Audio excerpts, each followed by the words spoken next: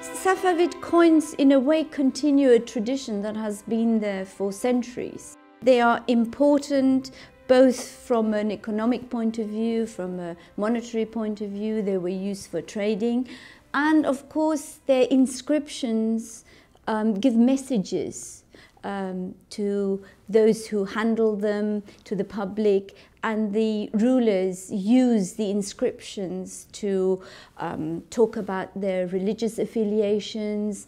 Um, then gradually the language um, changes from Arabic to Persian, and all this information comes through um, on these tiny little pieces that may look very boring actually to the ordinary person. Uh, this is a gold coin of Shah Abbas. It's very small as you see, but it hides an awful lot of information on both sides. Now, normally in Islamic coins, you have in the center La ilaha illallah, Muhammad Rasulullah, there is no God but Allah, and Muhammad is his messenger, his prophet.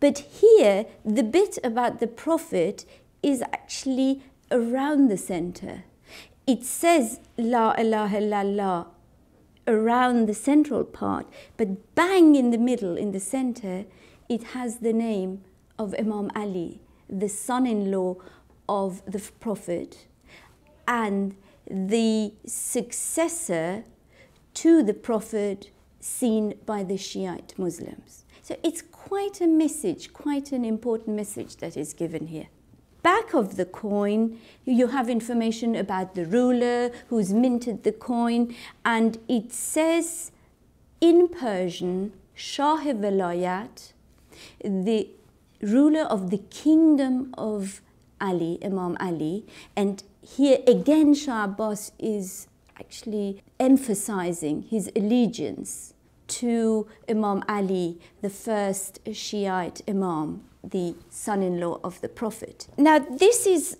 a, an example of uh, the most exquisite Persian Nastaliq uh, calligraphy on a coin. The date is 1121 Hijra, which corresponds to 1709, and the front always shows the proclamation of faith. So that's how you know which is the front, which is the back. And again, beautiful Persian Nastaliq, La ilaha illallah, Muhammad Rasulullah, Ali Waliullah. So there is no God but Allah.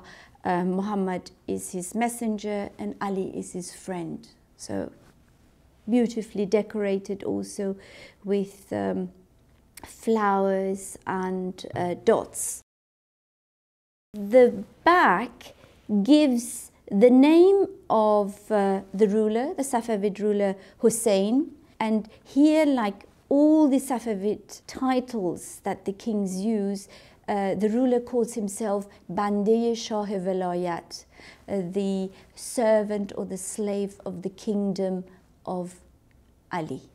And right at the end, at the bottom of the coin, uh, written beautifully, Zarbe Isfahan, minted at Isfahan in 1121, Hijra, which corresponds to 1709 there's a clear message that sort of the, the Persian aspect, the Iranian aspect of the Safavid dynasty and the Safavid um, house um, plays an important role and Persian is a very important part of the national identity of the Safavids.